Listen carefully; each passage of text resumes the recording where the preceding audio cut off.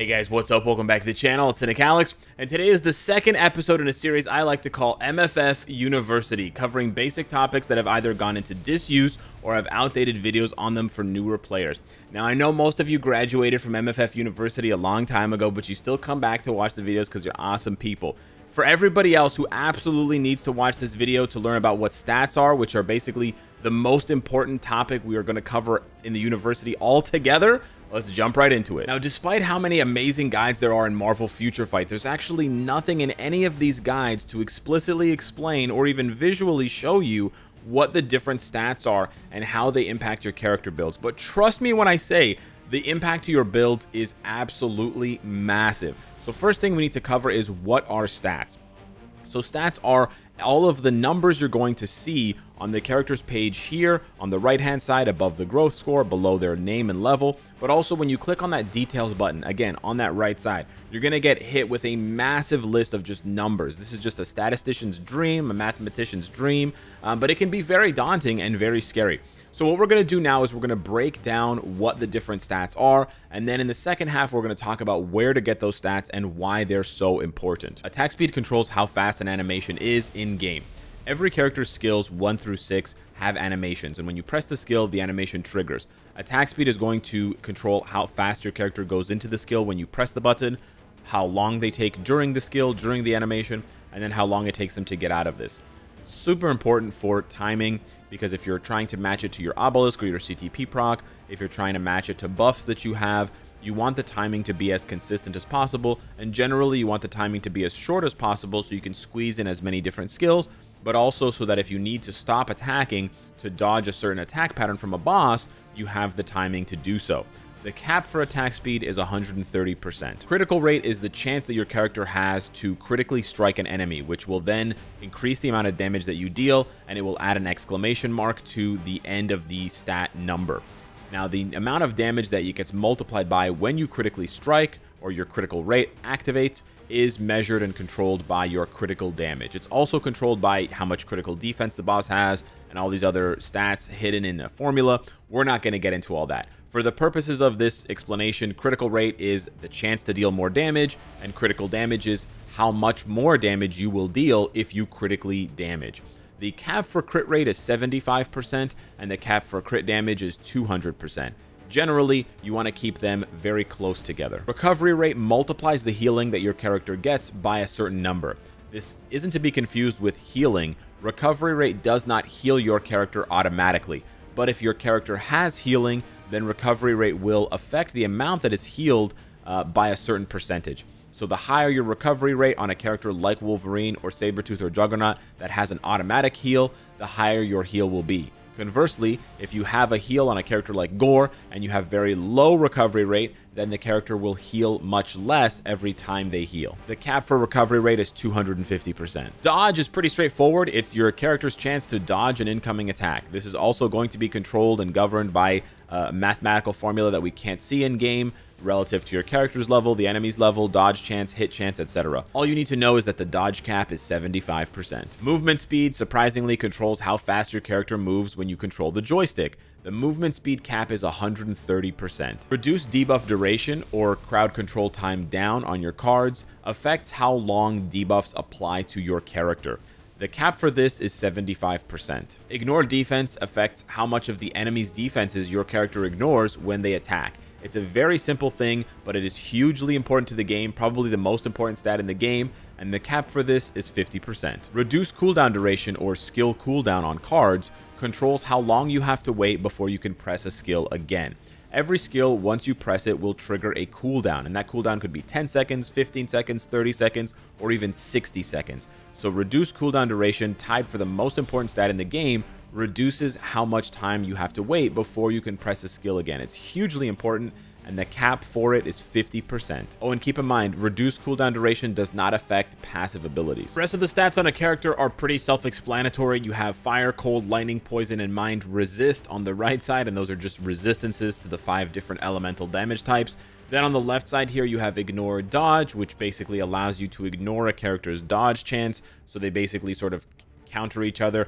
High dodge chance will make you dodge a lot and not allow people to hit you. But if you have a lot of ignore dodge, then you can ignore the dodge that is, you know, otherwise making you miss a bunch. Uh, and then you have fire damage, cold damage, lightning damage, poison damage, mind damage, which just increases the amount of those damage types that you do, but only if your character already does those damage types. So just to briefly talk about elemental damage, uh, when a character has elemental damage, you will see it on their skills. So Miles Morales, it says lightning damage. It has a little lightning icon. For someone like Sabretooth, it doesn't. He just has physical damage. He just has a little fist. Uh, for an for an energy damage character, they just have that little energy neutron.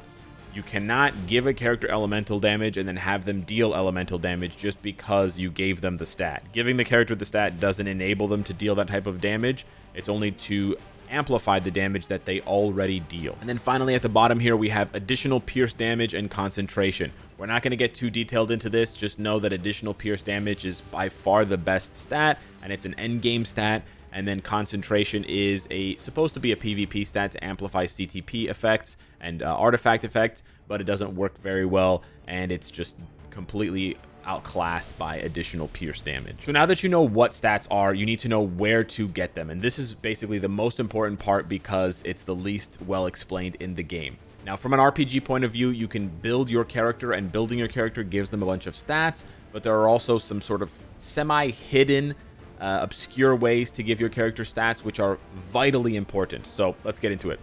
For stats that you can give on the gear, you have Uru and uh, Odin's Blessings. Now, Uru and Odin's Blessings don't cover every single stat in the game, and that's a common theme. Some stats are just very hard to find, or they don't come uh, on things that you can equip on characters, but you can still get a lot of the really important ones. As you can see, there's Uru for Ignore Defense, Dodge, HP, Physical Defense, Energy Attack, Crit Damage, Crit Rate, you know, Attack Speed, Skill Cooldown. A lot of these super duper important, and then amplifying the Uru increases the stat even more. So very nice way to get a bunch of stats. If we go over to the ISO, ISO will give you flat stats on the ISO itself. So this one gives me all attack, this one gives me physical attack, this one gives me attack and HP, this one gives me critical rate, uh, over here in the corner. In addition to those flat stats that you get from ISO, if you complete an ISO 8 stat, you also get percentage stats. You can see there plus 8.5% attack, plus 7.7% attack speed. So pretty huge stat bonuses here on an ISO 8 stat.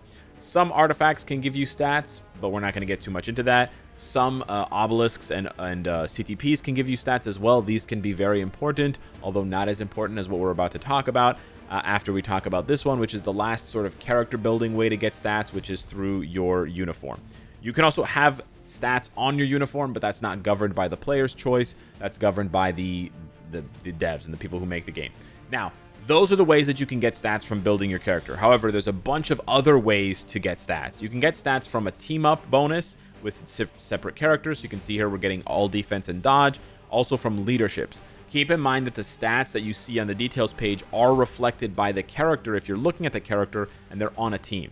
So what does that mean? If I put Wolverine over here and I use Destroyer's Lead for 30% energy defense, my Wolverine's energy defense goes up from 27,000 to 32,000. Now, if I either take him off the team or if I switch to a different team, his defense goes back down to 27,000.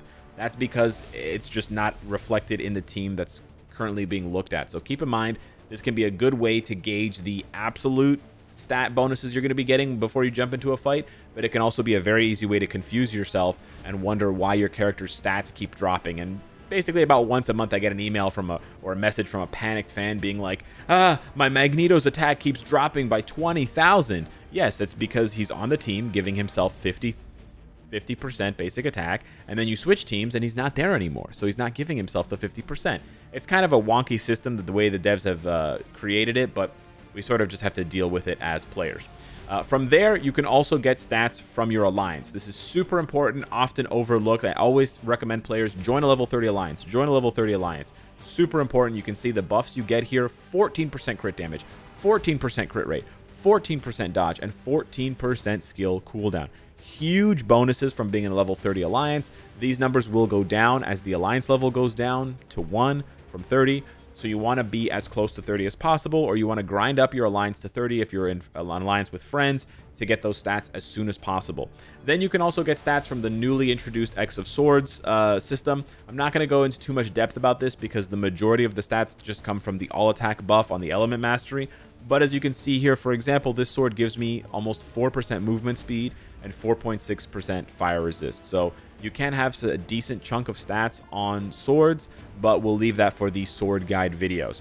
And then we come to the by far the most important way and the easiest way to get a bunch of stats, and this is cards. Now, I'm not going to go into the details of card crafting, but what you need to know is this is hugely important. And just to give you a basic example here with these cards that I built in one video, so in just like 15 minutes, I built these cards from scratch. Uh, it's not very difficult at all, and this is why players tell you focus so much on cards in the beginning. You get so many stats from your cards. Look at this one card is giving all 255 characters and any future characters that I unlock 10% dodge, 10% cooldown, and then it's giving them some ignore defense, and then some resistances. It, those are not that important, but look at this. All attack, cooldown, very, very, very vital stats that are going to allow your character to deal more damage, deal damage faster, take less damage, the whole shebang.